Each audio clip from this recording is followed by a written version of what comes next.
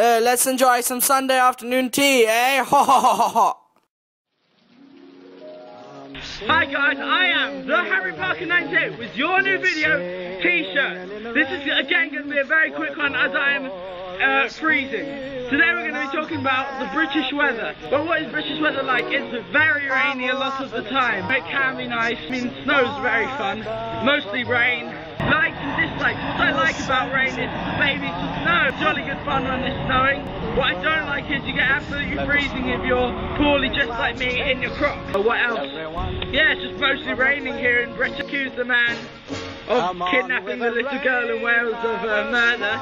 Not so happy. Um, uh, news just in, I am completely soaking and I can't see a thing.